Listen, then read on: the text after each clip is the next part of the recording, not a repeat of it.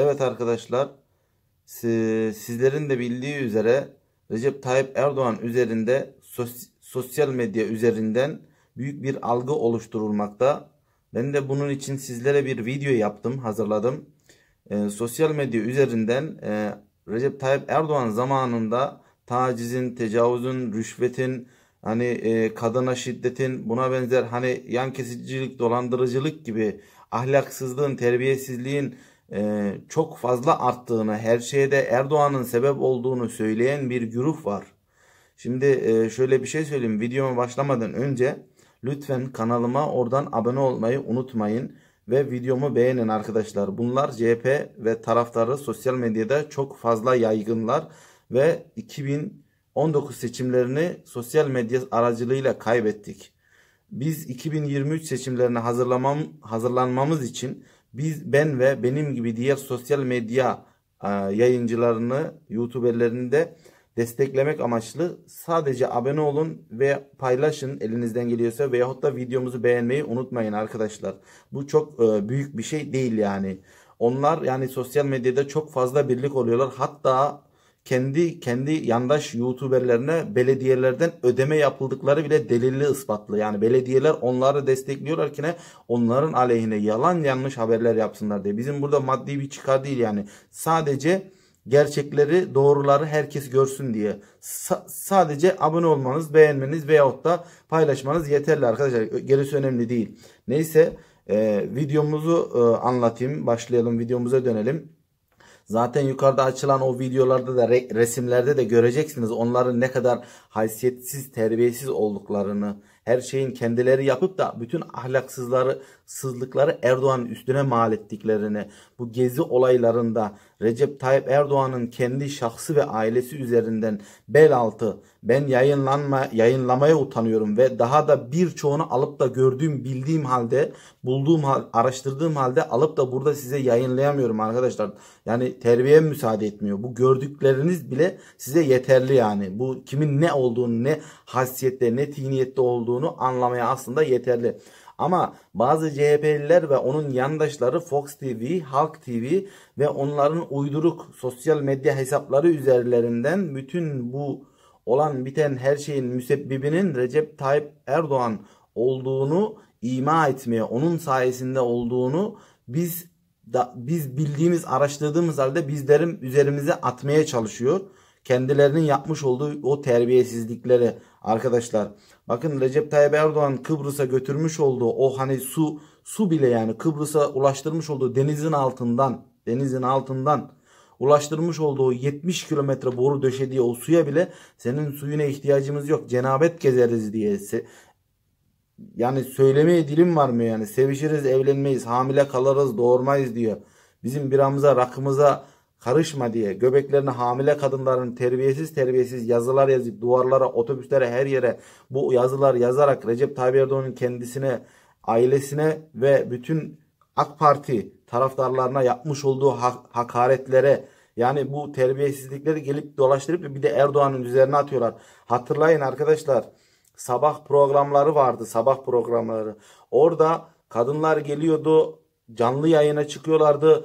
Adam erkek karşısında geliyordu ahlakımızı nasıl bozmuştu çocuklarımızın yani çocuklarımızın kardeşlerimizin ona benzer akraba eşimizin dostumuzun insanlar çok tuhaf yani insan e, ahlakı çok e, kötü yerlere sürükleniyordu. Kadın orada soruyordu erkeğe senin ne kadar emekli maaşın var, kazancın ne, kaç tane evin var, kaç tane villan var, neyin var, neyin yok falan deyip oradan e, o gün evlenip gidiyordu. Ertesi gün bakıyorsun yine geliyordu. Bak ben onu sevmedim, beğenmedim bir başkasını buluyordu. Onunla evlenip gidiyordu. Ertesi gün geliyordu bir daha artık yani onları göre göre terbiyemiz iyice toplumun ahlakı bozulduydu. Yani kimse bir şey yapamıyordu. Hakimler, savcılar yani karışamıyorlardı. Bir şey yapamıyorlardı. Özgürlük var, insan hakları diyorlardı. Yani kadın ben seçerim, isterim. Hani suç mu işledim diye yani e, kendisini de savunuyordu. Bunun gibi bu tür hani kendini bilmez hadsiz programlara Recep Tayyip Erdoğan el atarak onların hepsini kapattı. Ne oldu arkasından? Recep Tayyip Erdoğan diktatör oldu. Recep Tayyip Erdoğan e, bunların yani halkı kine, halkı düşmanlığa, halkın e, ekmeğini elinden almaya varıncaya kadar bütün oradan ekmek yiyenlerin tümü olduğu gibi Erdoğan düşmanı oldular. Olduğu gibi yayınlar yapmaya başladılar. Ama halkın, toplumun, ailenizin bak hepinizin geleceğini kurtardığını hiç kimse orada yazıp çizmedi. Senin sayende o televizyonlardan o yayınlar kalktı bizim ahlakımız düzeldi diyen bir Allah'ın kulu olmadı. Bir Allah'ın kulu. O hani o kedicikler vardı ya Adnan Oktar öyle terbiyesiz öyle adi yeri geliyor hoca oluyordu yeri geliyor siyasetçi yeri geliyor e, tiyatrocu oluyordu her halta her kılığa giriyordu insanların ruhuyla insanların ailesiyle huzuruyla dalga geçiyor adam kalktı bunları içeriye tıktı ya bu, bunları içeriye tıktı yeri geldiği zaman diktatör oldu yani dendi bunların toplumun ahlakını düzeltmek için Ankara'daki, Bursa'daki daha kaç tane şehirlerdeki o umumi evlerin hepsini kapattırdı bu adam. İnsanların yani ahlakı bozulmasın diye. Bütün oradan zarar görenlerin hepsi kalktı Erdoğan düşmanlar oldu. Yayınlar yaptı. CHP'liler ne yapıyor? Ee, e, sosyal medyada CHP taraftarları Halk TV'nin, Fox TV'nin e, yayınlarına aldanaraktan bütün tecavüz, gasp, ırkçılık, şunculuk, bunculuk hep Erdoğan zamanında gelmiş ortaya çıkmış ve türemiş bu kadar çoğalmış. Yok ya Yavuz hırsız hani ev sahibine bastırır hesabı gibi. Yavuz hırsız hırsızın da, daniskası sizsiniz ya. Zamanında 1999, 2000, 2002 yıllarını hatırlayın ya. Her köşe başında polis, her lambalarda polis, ikide birde çorba parası, çorba parası, ikide birde yaptığın bütün hatalar, cezalar şunlar hepsi rüşvet olarak havalarda uçuşuyordu. Ne oldu? Hadi şimdi bir tane polisin birisi rüşvet alsın da görelim bakalım. Var mı öyle? Şahit oluyor musunuz? Duyuyor musunuz? Önceden her köşe başı çorbacıydı. Her köşe başı çorbacıydı. Her lambalarda çorbacı vardı. Öyle her geçenden para cebine atarlardı. Ne oldu? Bütün bu, bunlar bu ve buna benzer ne kadar yani alavere dalavere işlerin hepsinin önleyen, önüne geçen, engelleyen Recep Tayyip Erdoğan bugün yolsuz ve çocuk yani söylemeye dilim varmıyor yani ya çocuk tacizi, kadına şiddet şuna buna bütün kadın haklarını her şeyini veren Recep Tayyip Erdoğan aldı. 99 yılında Millet Meclisi'nin içerisinde kaç kadın var?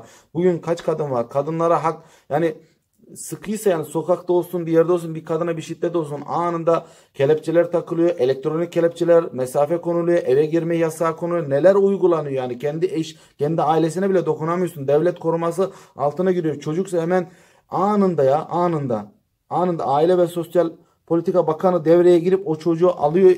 Yani o ailenin elinden bile neler var? Eskiden devletin bırakın bunları yapması böyle kurumu adı bile yoktu ya. Adı bile yok diyor. Çocuk Neymiş? Ölmüş. Öldüyse babası öldürmüş. Öldüyse annesi öldürmüş. Ya babası öldürür de sever de döver de. Yani bunların hiçbirisini unutmadık biz de. O gözü görmeyen o körler var. O unutanlar da var. Bilmeyen, yaşı tutmayanlar da var. Onların zamanında onlar yaşamadı ya. Bugün kalkıp Erdoğan'a bu hakaretleri yapıyorlar ya. O Yavuz hırsız ev sahibini bastırır hesabı. Ahlaksızlığın daniskası bunlarda. Ahlaksızlığın daniskası bunlarda. O seçim otobüslerinde, mitiklerinde çocuklara taciz, erkek erkeğe travestiler, o hani ibneler, LGBT'ler için yürüyüşler yapan, onlar destekle destek veren asıl CHP milletvekili vekilleri, asıl ahlaksız bunlar. Ankara Barosu, İzmir Barosu, asıl bu terbiyesizler bunlar. Sırf Diyanet İşleri Başkanı e, Ali Erbaş hocamız Lutili yani İbneli bu bunlar hani günah olduğunu söyledi diye dava açan karaktersiz bunlar ya. Erkek erkekle kadın kadınla evlendirmeye çalışan ahlaksız terbiyesiz bunlar. Bunlardan çıkan küfür bunlardan çıkan terbiyesizlik daha hiçbir hiçbir partiden zuhur olmadı. Kalkıyor bütün bunlara rağmen karşı tarafa suç atmasını çok güzel biliyorlar.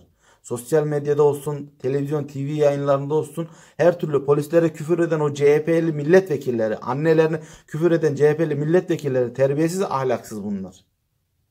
İşte bunları görün arkadaşlarım. Bunları görün, paylaşın ve böyle oyunlara gelmeyelim. Erdoğan gibi dindar, hafız bir cumhurbaşkanımız varken ona böyle kötü yaftaları, uyduruk e, uyduruk e, hitamları e, yapıştıran, söyleyen e, CHP ve CHP tayfasına gerektiği gibi cevabımızı verelim. Onlar da hadlerini bilsinler kimin yalancı kimin gerçekçi olduğunu. Onların yapmış olduğu terbiyesizliği Recep Tayyip Erdoğan'ın üzerine mal etmeye çalışıyor. Bu karaktersiz haysiyetsizler. Ben onların terbiyesi gibi öyle hakaret edemiyorum. Onların seviyesine düşemiyorum o haysiyetsizlerin. Ben o kadar onlar kadar haysiyetsiz değilim işte. Onlar ağzına alınmayacak küfürlere o ekranlarda bile o küfürler yapan o adiler işte o iki yüzlüler. O Uğur Dündar'ın o hani ayı oynatan darbukatör bayram var ya onların onların televizyonda yapmış olduğu küfürler yeter sadece. O Metin Akpınar'ı çıkarmış olduğu programda. Ya